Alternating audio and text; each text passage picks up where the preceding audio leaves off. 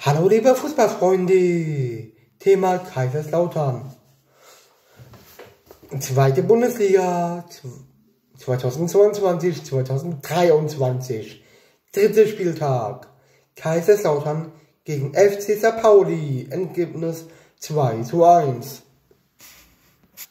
Start 11 Kaiserslautern. Lute, Durm, Tomiak, Kraus, Zuck, Ritter und Kleinsorge, Neuhaus, Zimmer, Wunderlich, Hanslik, Devens Beuth. Start 11 FC St. Pauli.